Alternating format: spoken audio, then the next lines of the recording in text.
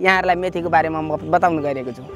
मेथी सबैभन्दा सस्तो सर्वसुलभ र यसको एक्सपायर डेट पनि खासै नहुने विशेष जडीबुटी हो। हाम्रा पुर्खाहरू साह्रै वैज्ञानिक थिए जसले हाम्रो भान्सामा अडचालिसवटा जडीबुटी दिए। वास्तवमा हामीलाई आज विदेशीहरूले आफ्नो प्रोडक्ट बेच्नको लागि जङ्क फुड बेच्नको लागि हामीलाई भ्रममा पारेका छन्। यसमा प्रशस्त मात्रामा क्याल्सियम पाइन्छ पोटासियम पाइन्छ।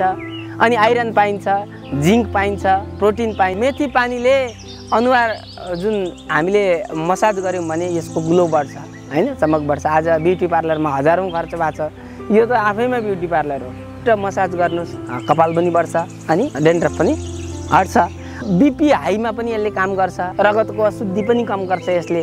रगत शुद्धि गर्ने हुनाले बाथ रोगलाई पनि यसले एकदम हटाउँछ यसले युरिक एसिड त जस्तो सुकै तपाईँको नौ भएको साढे नौ भएको पनि सन्चो गराउँछ सुगरको लागि पनि असाध्यै राम्रो छ सबभन्दा महत्त्वपूर्ण कुरा महिलाहरूको समस्या सिजरिङ गर्नै पर्छ अपरेसन गर्नै पर्छ काट्नै पर्छ भन्ने नर्मल डेलिभरी हुँदैन महिलाहरूको शरीरमा जुन हार्मोन्स हुन्छ महिलाहरूको हो त्यो हार्मोन्सलाई ब्यालेन्स ल्याउनको लागि मेथीले महत्त्वपूर्ण काम गर्छ